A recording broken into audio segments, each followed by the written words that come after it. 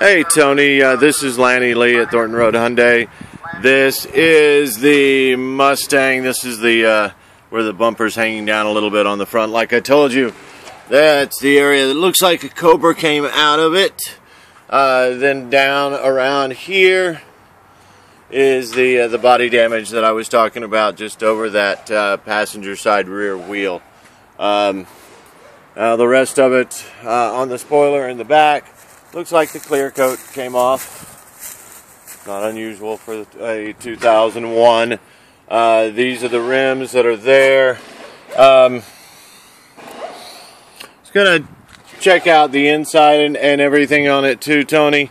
But when I started it up, this time wasn't happening the last time that it uh, that I had it started, but it was making a noise uh, like a ticking sound. Got one of the technicians to listen to it with me because just to confirm what I thought. Sounds like a lifter, um, which makes me lose all interest in it for you.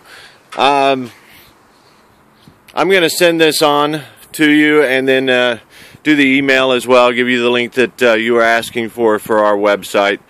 And uh, give me a call. My cell phone is 404 207 7855. But like I said, I, I, lost interest in selling it to you. The, anything wrong with the engine, um, I certainly wouldn't want you to get into it and find out that you're looking at a lot more money than what I originally thought as well.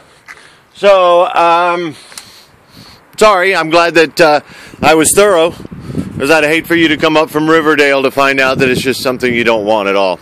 I will talk to you later, sir. Have a uh, great day. Thanks. Bye bye.